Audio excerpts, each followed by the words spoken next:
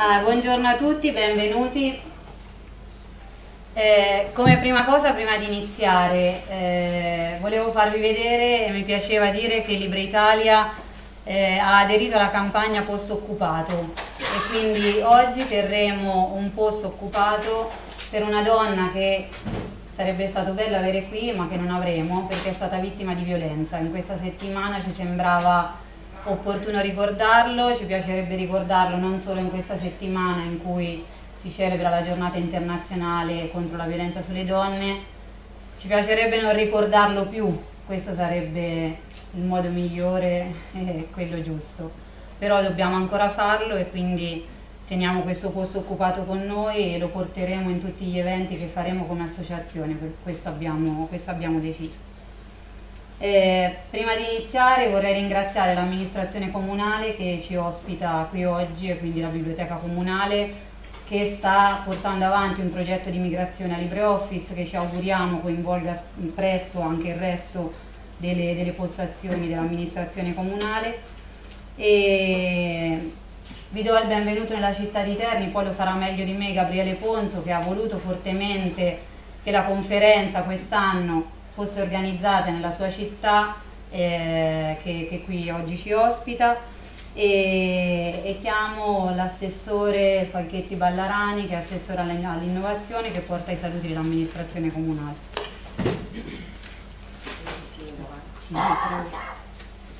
Buongiorno a tutti, eh,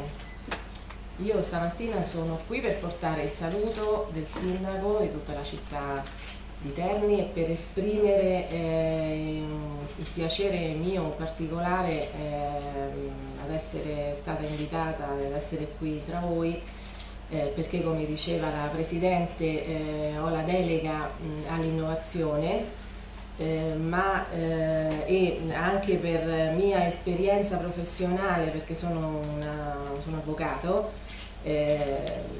ho una forte convinzione, sono una forte eh, sostenitrice della libertà informatica. Ehm, quindi studio un pochino eh, per vari motivi, eh, anche un po' per passione di filosofia giuridica oltre che eh, per innovazione e anche perché ormai eh, diciamo, la, la, giurisprudenza e il diritto informatico eh, abbiamo visto anche in questi ultimi giorni le drammatiche vicende che sono successe eh, diventa un settore del diritto eh, e quindi eh, una, un focus che deve essere particolarmente attenzionato e sul quale secondo me eh, dovrebbe essere, esserci una particolare attenzione anche dal punto di vista dei finanziamenti e quindi del sostegno eh, anche alle amministrazioni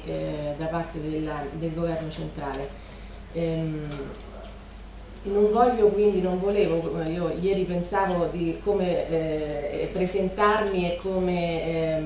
portare il saluto, io eh, sono un po' poco formalista, non volevo fare un saluto formale, non volevo però, come si dice, allargarmi e prendervi eh, troppo tempo perché è una conferenza eh, molto interessante cui, alla quale parteciperò eh, spero in gran parte della mattinata perché ho altri impegni e mi sono permessa di scrivere eh, due righe ve le leggerò non per mancanza di rispetto, io in genere eh, parlo a braccio, però eh, sono dei concetti che io vorrei qui ehm, insomma, eh, sottoporli a voi che siete eh, esperti e che siete ehm, quindi eh, in, in, prima linea ad affrontare queste problematiche e quindi per sintesi mi permetto di, leggervi, di leggervele per evitare di andare eh, oltre i, i, tempi, quindi ribadisco non è una mancanza di rispetto e giuro l'ho scritta io perché in genere si legge, si leggono cose... Ehm, Internet ormai è riconosciuto dalla legge e dalla giurisprudenza come strumento di estensione dei diritti fondamentali, quali quello della libertà di pensiero, di manifestazione, del diritto allo studio, del diritto di associazione e di tanti altri diritti riconosciuti dalla nostra Costituzione. La tecnologia informatica è diventata certamente il mezzo, ma al tempo stesso anche diritto di accesso, diritto che per sua natura non può essere compresso. Presupposto della libertà informatica è la libertà di accesso ad internet ed alla rete. Siamo in una fase in cui l'utilizzo della rete può essere regolamentato con, con obiettivo primario quello di evitare la commissione dei reati anche attraverso che attraverso questo mezzo possono essere commessi e compiuti, ma non può essere costretto né tantomeno può essere impedito. In questo quadro, che ho appena sinteticamente tracciato, anche la pubblica amministrazione non può esonerarsi dall'usare questo modo di comunicazione con i cittadini e al tempo stesso garantire ai cittadini il diritto sociale di ricevere servizi digitali la libertà informatica e quindi il diritto di accesso, di libero accesso ad internet hanno modificato e modificano anche il diritto di proprietà.